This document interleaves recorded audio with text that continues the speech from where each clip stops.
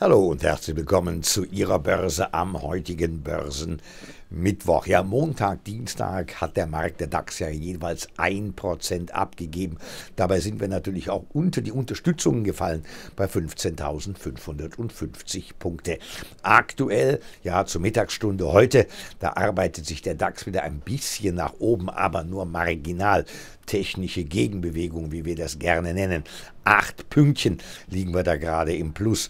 Wir nähern uns der Marke von 15.300, aber damit liegen wir immer noch unter den Unterstützungen. Es könnte durchaus sein, dass wir nochmal weiter abrutschen. Heißt also, jetzt in dieser Region wäre ein Abschlag von circa 1000 Punkten bis auf das Märztief bei 14.458 Punkten durchaus möglich. Ja, was drängt, was drückt die Märkte? Klar, die Inflation und die Zinsen. Und wenn wir in die Vereinigten Staaten schauen, da sah es bei Dow und Co. auch nicht wesentlich besser aus. Vor allen Dingen jetzt schaut man wieder mehr auf die US-Anleihen. Die Zehnjährigen bieten aktuell eine Rendite von 4,57 Prozent und bieten somit natürlich gegenüber den Aktien dann doch eine Alternative. Ja, das Thema Higher for Longer, das heißt nach wie vor hohe Zinsen und das für eine längere Zeit, das ist das, was momentan tatsächlich den Investoren auf der Seele brennt. Ja, hatte man gehofft, äh, gehofft, dass eventuell keine weiteren Zinsschritte mehr auf die Märkte zukommen, scheint das wohl Makulatur zu sein. Selbst Jerome Powell hat gesagt, er könnte sich durchaus vorstellen, nochmal einen Zinsschritt mit 25 Basispunkten nach oben zu gehen. Aktueller Zins in den Vereinigten Staaten 5,25 bis 5,5 Prozent. Und einer Zinssenkung hat er für dieses Jahr mal eine glatte Absage erteilt. Allenfalls ab 2024 Juli.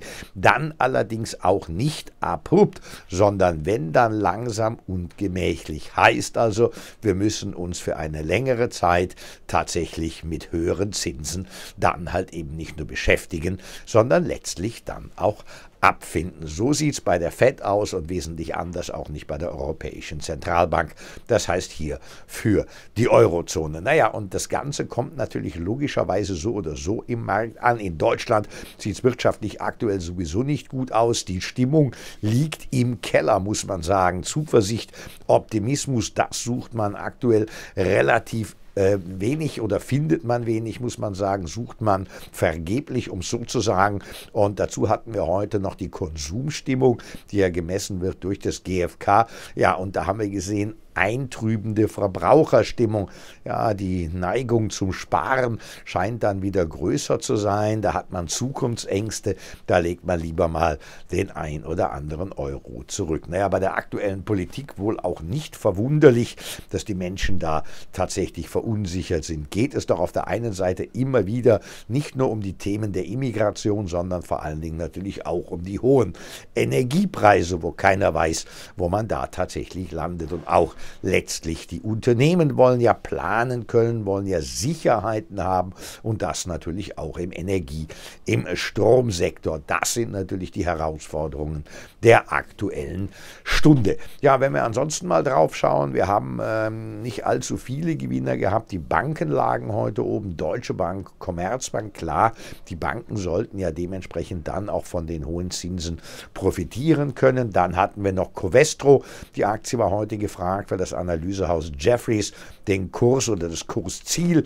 hier anhebt auf 60 Euro und die Aktie zum Kauf empfiehlt. Ganz weit unten, klar, wenn wir eine solch schlechte Konsumstimmung haben, da liegt natürlich dann Zalando. Da hat man Ängste und Befürchtungen, dass der Quartalsbericht halt eben auch tatsächlich quer hängen könnte und dass das Unternehmen halt eben durch die Konsumzurückhaltung, durch die Sparneigung natürlich dementsprechend weniger verdient. Aber auch Rheinmetall, Daimler Truck, Fresenius, Deutsche Telekom lagen bei Zeiten unter den Verlierern. Ja, ansonsten haben wir heute noch Zahlen von Hornbach und von H&M, äh, Hennes und Mauritz mit dem dritten Quartal, Hornbach mit dem zweiten Quartal. Äh, sonst steht heute für den Mittwoch allerdings nichts an. Morgen, am Donnerstag und Freitag dann natürlich klar mal wieder Konjunkturdaten, die wir ins Auge dementsprechend fassen müssen. Ja, jetzt gilt es natürlich mal abzuwarten abzuwarten, wohin sich der Markt tatsächlich bewegt, ob die Bullen hier das Zepter mal wieder in die Hand bekommen, ob wir tatsächlich Käufer in den Markt hineinbekommen, weil damit sich der DAX halt eben dementsprechend nach oben stabilisieren könnte, sollte das nicht der Fall sein. Wie gesagt, da stehen uns dann ein paar Marken nach unten natürlich ganz klar offen. Das heißt zuerst mal die Marke von 15.000 Punkten nach unten, aber wie gesagt, es könnte auch durchaus nochmal bis zum Märztief 14.458 Punkte gehen. Wir sehen uns dementsprechend dann mit meinem Montagsbericht, mit meiner Wochenvorschau klar dann am Montag wieder.